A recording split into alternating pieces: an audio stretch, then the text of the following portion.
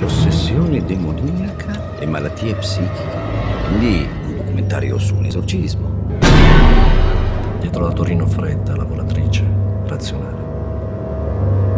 Esiste un'altra, nascosta e inquietante. Avete sicuramente sentito parlare di culti demoniaci di sette.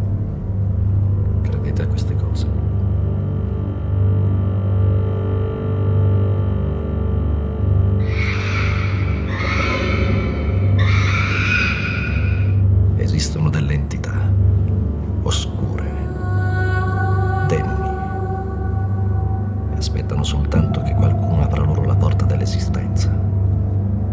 Poi ti entrano dentro e ti soffocano la ragione. E tutto questo può cominciare così, come un gioco. Primo, il patto col diavolo. Secondo, la casa del diavolo.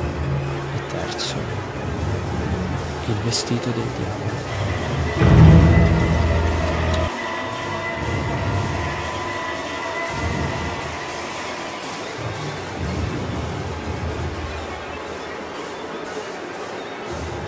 nella speranza che durante le riprese spunti fuori un demone.